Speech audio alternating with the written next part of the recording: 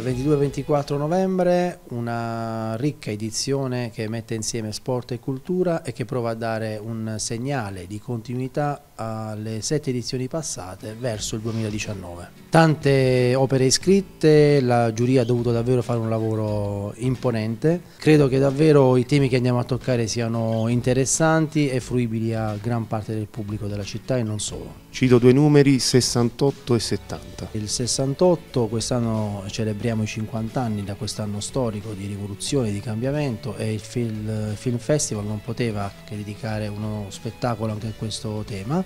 Abbiamo infatti scelto uno spettacolo teatrale che è Pugni Chiusi, che racconta un po' una storia di controcopertina, quella di Peter Norman, l'atleta australiano nel podio famoso del 68, eh, che insomma la sua storia merita di essere raccontata e invitiamo tutti davvero a, a goderla al teatro.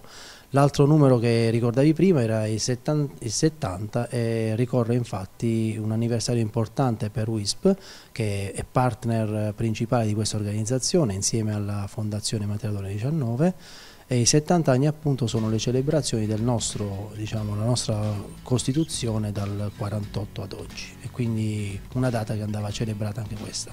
Tra tre giorni non mancheranno gli ospiti.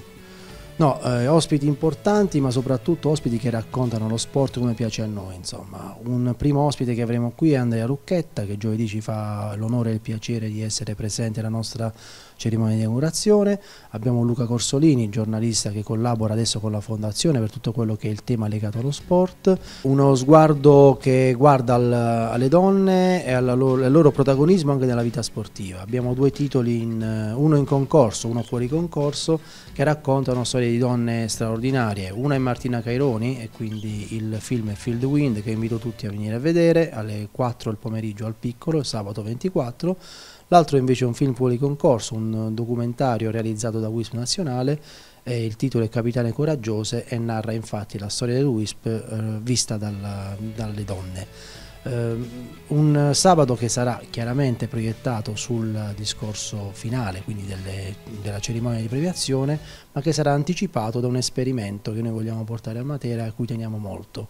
È una rassegna che già da qualche anno uh, è presente in Basilicata, Visioni Disturbate, che lavora su un concetto di fruizione per quanto riguarda proprio i film e le produzioni cinematografiche da ragazzi con disturbi ehm, sensoriali e che eh, proviamo quest'anno a legare al tema dello sport. Avremo un titolo che è fuori concorso, quindi perché rappresenta appunto un modo di voler raccontare lo sport per tutti, si chiama Jamie Grimble, il titolo del film. La proiezione sarà dalle 5.30 e lancerà la cerimonia di premiazione del festival.